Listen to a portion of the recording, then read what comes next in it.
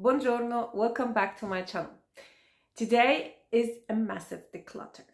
Uh, I have here more than 50 fragrances. So I am in the mid of KonMariing my house. Um, I mean, uh, I am applying the KonMari method in decluttering stuff around my house. And yesterday was fragrance day, and I got, as I as I said, rid of 50 fragrances. Big disclaimer: I did not really apply the KonMari method on my fragrances. So if you are interested in seeing my fragrance collection or seeing me KonMariing my fragrances i did also that. So i will leave linked in the description down below these uh, videos. So first i did like a KonMari to my fragrances and i showed you the fragrances that i kept if i would to apply that method. And then i did another declutter where i ended up with these. So in order for this video not to be too long I'm just going to go through these fragrances very, very, very quickly, just saying why I decluttered them.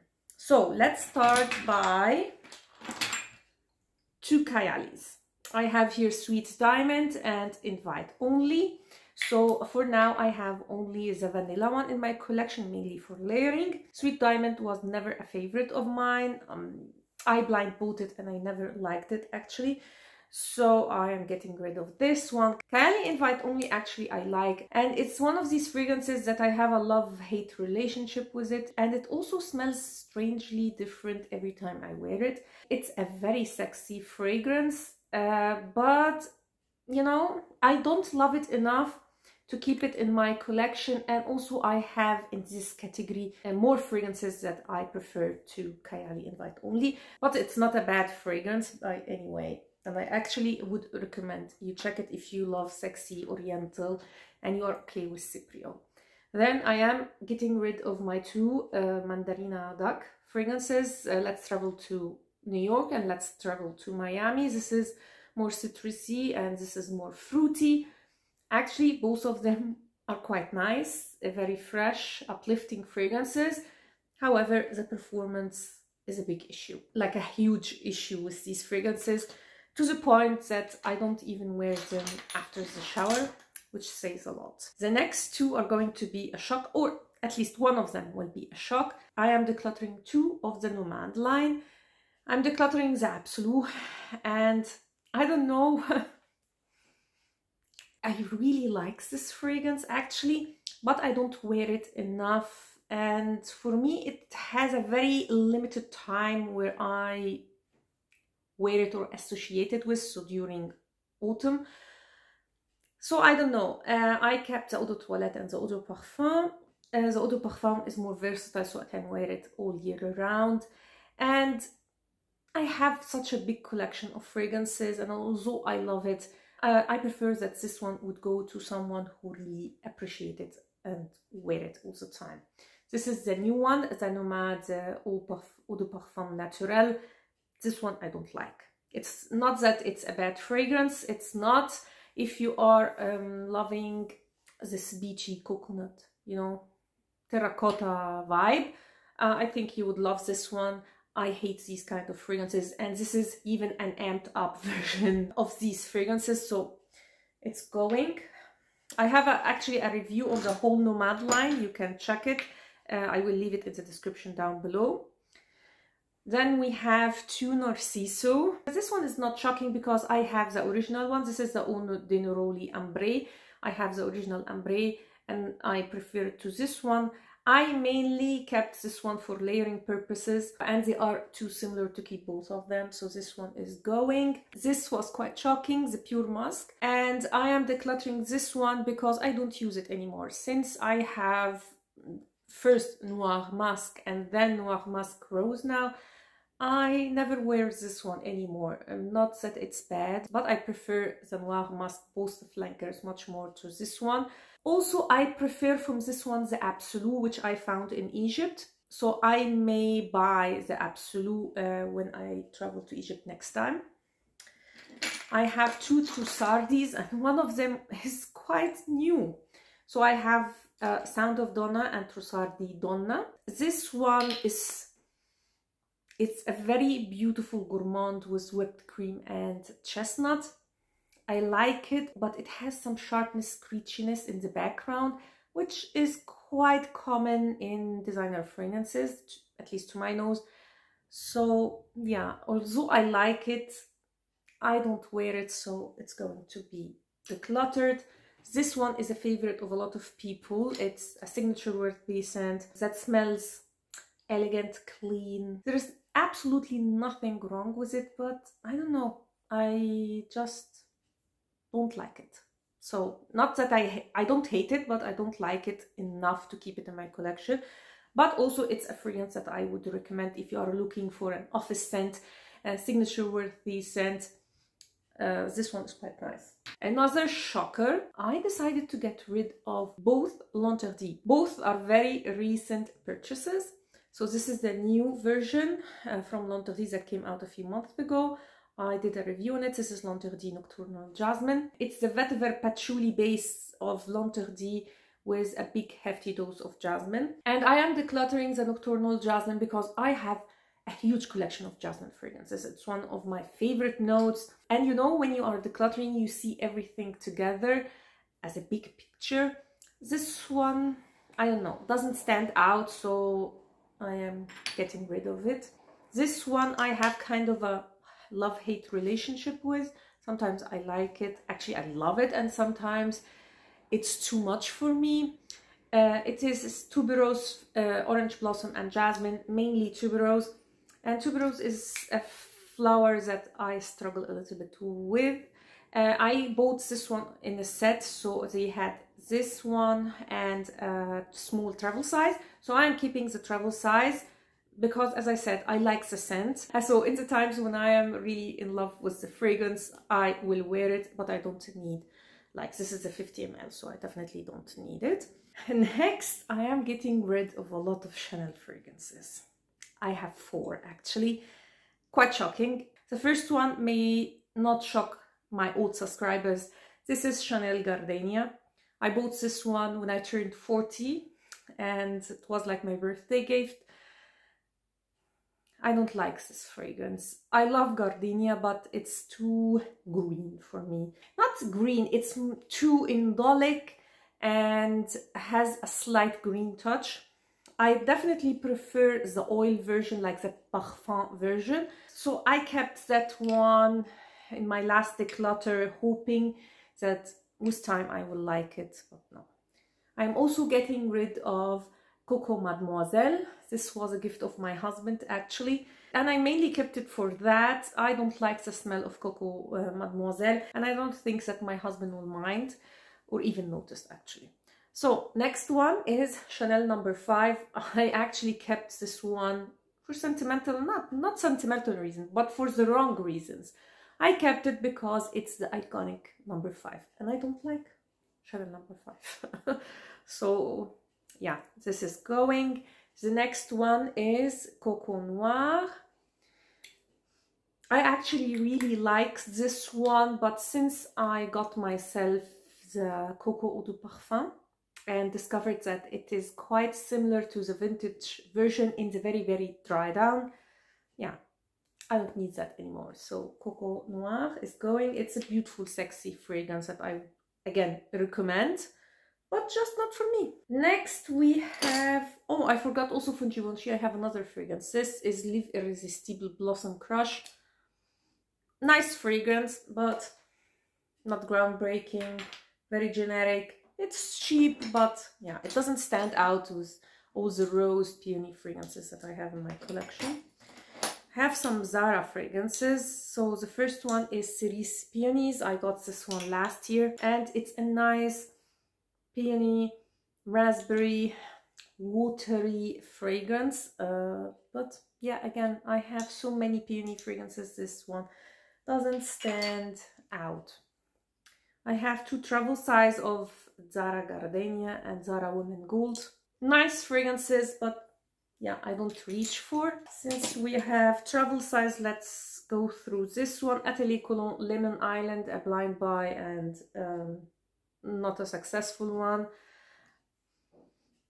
yeah, I don't like this fragrance. I know it's a favorite of a lot of people, but it's too gourmand for my liking. It's more of a lemon, I don't know. Imagine coconut with lemon. So, no, it's I don't like coconut and fragrances. Dolce & Gabbana is the one, I never bought this one actually to wear. I bought it for um, a comparison video between the original one and the new gold I will leave that video down below uh, in the description if you want to watch a uh, full review of that fragrance. The gold one I absolutely love. The original one, no. I remembered it to be, when it was first released, quite a beautiful fragrance. But I think they reformulated it uh, because the ones that we have now, I don't like at all. Big, big, big fail.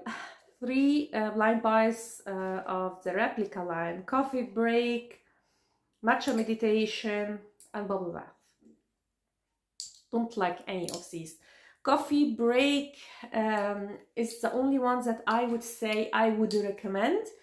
If you love fragrances like um, how it's called Yves Saint Laurent uh, Black Opium um, yeah uh, I think you would like this one. Not that they are similar, but I think the people who love this fragrance will also love this one. It's coffee, has lavender, so it's a, an interesting mix, but not for me. Uh, matcha meditation, for the same reason I'm decluttering Lemon Island. It's This is a really gourmand tea. Um, so yeah, not a fresh tea fragrance, so I'm not liking it. Bubble bath, is nice on paper, on skin. It smells like cheap soap, so not keeping it. And I wouldn't recommend it. Next is L'Ambre des Merveilles from Hermes. Nothing wrong again with this one, but very, very bad performance and I don't love it enough to keep it even with the bad performance. I have no issue with bad performing fragrances if I really really like them and I don't like it enough. Of course, again, another blind buy that was a big fail is a Montblanc Signature, a very hyped up fragrance and it's a nice fragrance. It's a little bit too lactonic for my liking uh, so it turns a little bit sour on my skin. I did a comparison between this one and Musc Therapy from Initio. So if you want to know more details about this one or Musc Therapy or how they compare, again, I will leave it linked in the description down below. I just can't handle this fragrance on my skin. Next, I have two Roberto Cavallis. I am decluttering um, the original one and the Flanker Nero Assoluto. This one is discontinued and I actually recommend both of them for those who are looking for a very affordable but yet expensive smelling fragrances. Roberto Cavalli, you are really getting good fragrances for how much you pay. Never pay full price for Roberto Cavalli. They always go on sale and it's almost 50% off. Nero Assoluto is definitely an interesting fragrance and I like it. Now I'm smelling it and I really like it, but I never, never wear it. So I even focused on it last year, uh, so like to test it, to wear it, and I never gravitate to it. I always like sprayed it out of obligation because I said I wanted to give it a chance. Beautiful fragrance, as I said, but both of them are very beautiful fragrances, but yeah, not for me. I am also decluttering the new Gucci Guilty uh, Intense Parfum line buys that I bought for a review and it this is a fragrance I don't know if I should love or hate. People compare it to Black Orchid from Tom Ford and I don't agree. I get it when I smell it from the cap. I get this Black Orchid vibe, uh, vibe minus uh, the truffle note like this. I hate that note in Black Orchid actually. So it's floral, it's plum, it's very intense. So the name suits the fragrance, definitely. Great performance, but yeah, mm, it's not my vibe again. I did a review on it. Uh, you will find it in the description down below. Also, I am decluttering my only two Yves Saint Laurent fragrances. So, seems like Yves Saint Laurent is not my vibe when it comes to fragrances. The first one is Cinema, a fragrance that is rumored to be discontinued. I still can find it everywhere online, that said. And it's a beautiful uh, citrusy, warm, floral, vanilla, very unique, very signature worthy, um, an everyday scent. Um, you can wear it to the office. It's a beautiful fragrance, but again, not my vibe. So I have a friend that loves this fragrance, so I, will give it to her. The next one is Yves Saint Laurent. This is the flanker. I don't remember how it's called. The Eau de Toilette, yeah. This is the Eau de Toilette that came out last year. I would say this is the most wearable Libre from all the three, but still I don't wear it. So I think Libre is not for me like the DNA of Libre. It's just not for me. Next, we have some fragrances from Guerlain.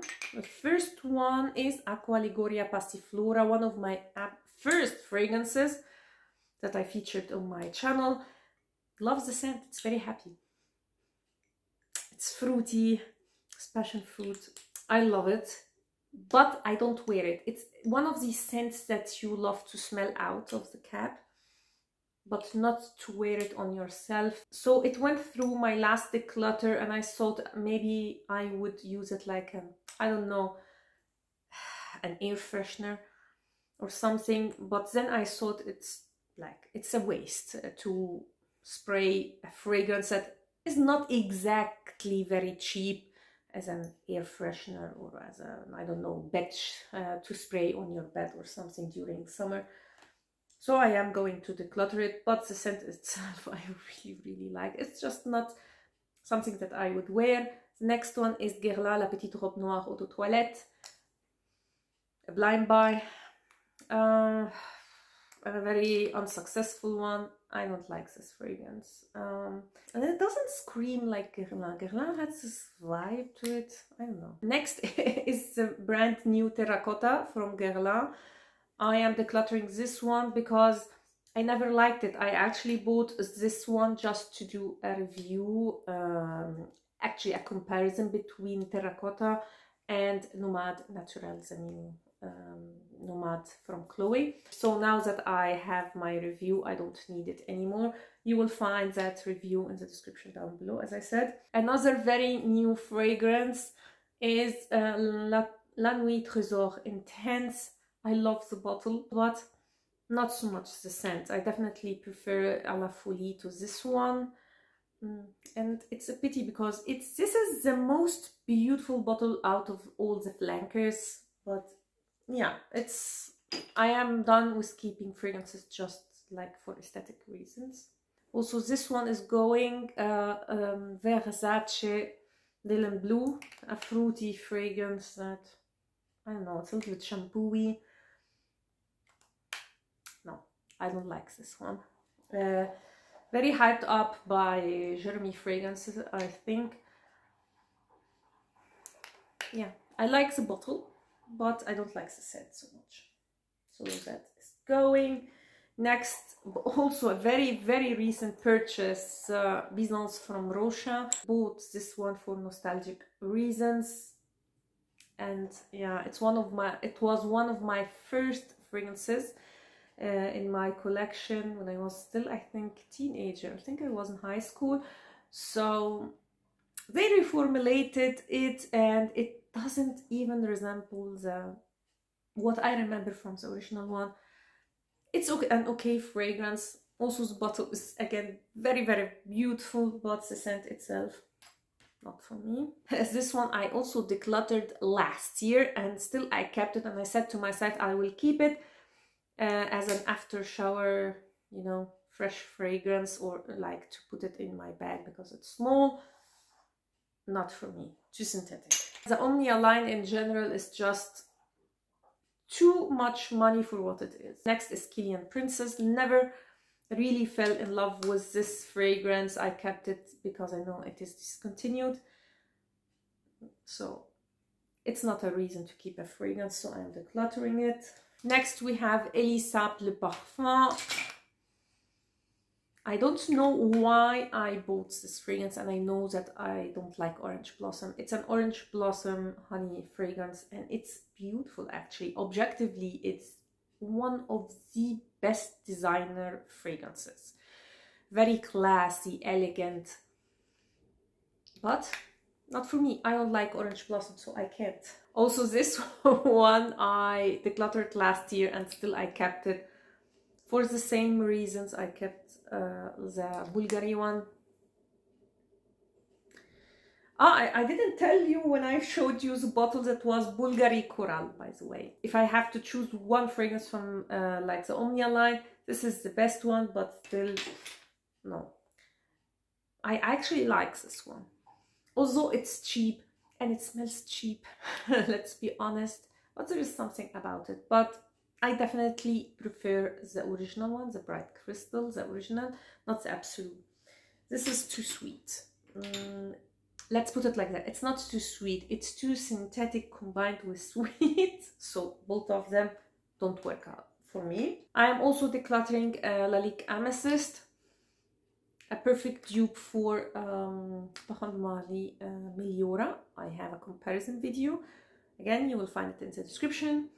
This is a very feminine, beautiful fragrance, but I don't like it enough to keep it. Next is Elizabeth Arden um, Green Tea Pomegranate. As you can see, it's totally full because I don't like it.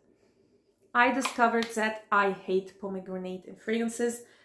So this one is going. I prefer the tropical one, which I still have in my collection and I absolutely love that one for winter time.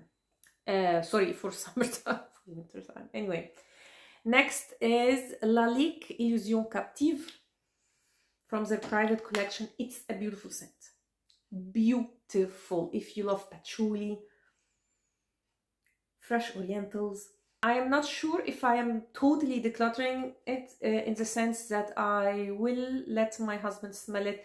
Because to me it is unisex but it's too on the masculine side in my opinion. So love the bottle love also the presentation of the Lalique private line but it's not a reason to keep a fragrance another one that I decluttered last year and then kept it for the usual reasons. Uh, this is Michael Kors sparkling blush. Too expensive what it is. The scent is beautiful. I love the scent. Really, I really love the scent, but it's so light and so bad in performance. It's like, it's a shame. You can't ask so much money for this performance. Um, so it doesn't last at all on my skin, so I don't get it much. So I'm decluttering it. Next is, again, another one that I decluttered last year, uh, Zen's Shadow. Yeah, it went in my bathroom and I never used it like all of the others that I mentioned. Next is um, Calvin Klein Into You. A very unique fresh fragrance, but that I don't wear. So although I like it, yeah, it's a very unique, quite particular fragrance. I think there was cactus in the note or something like that but yeah I don't wear it so it's going. Next is Hugo Boss uh, Deep Red, another one that I bought for sentimental reasons. It's a fragrance that when it came out I was totally in love with it. Yeah, but it has nothing to do with like the original one. It's 3-4 related again, so this is going. Also bad performance by the way. I'm also getting rid of uh, J'adore Infinissime the latest from the J'adore line. Very beautiful fragrance actually. Again, it's tuberose, the main flower. So I would recommend this fragrance definitely, but I don't wear it. Since I bought it, I, I think I wore it only once or twice, so it's not worth it. And last we have my most recent purchase, I think, Si Passione Eclat uh, flanker of the Si Passione. Uh, I am not a fan of the Si range in general and if I have to pick one it would definitely be the new Si Intense. That one is quite quite nice. Um, it's a little bit too sweet for my liking but the scent is really good. It's very very good. This one is nice nothing wrong. A musky rose with some black currant. So it doesn't stand out, it's not groundbreaking. So I'm decluttering also this one. I have a review on it, you will find it in the description down below again. So these were all the fragrances that I decluttered, 51 fragrances. As I said in my previous video when I went and showed you how I declutter my fragrances, uh, I actually am keeping some that I want to declutter in my collection for uh, reviews or, or comparisons uh, that still I didn't film. So these will also be, will be decluttered very, very soon. And that means that maybe in a, in two months uh, you will find a new declutter. Again, if you are interested in seeing my collection or my top 14 fragrances in my collection, so the ones that I selected after like applying the KonMari method, check my videos. You will find them in the description down below. Every time i do a declutter i actually learn a lot. Uh, so don't keep a fragrance because you love the bottle. Don't keep a fragrance because it has sentimental values for any reason and you don't wear it. And also don't keep a fragrance that is redundant in your collection. And of course the main criteria in decluttering is do you wear the fragrance and do you like it? So that was it uh, i hope you liked this video and you found it helpful. And if you did please give it a thumb up and consider subscribing to my channel. Also don't forget to hit the notification bell so you'll get notified when i upload any new video. I have quite exciting videos coming very soon so don't forget to hit that bell. Thanks a lot for watching and see you next time. Ciao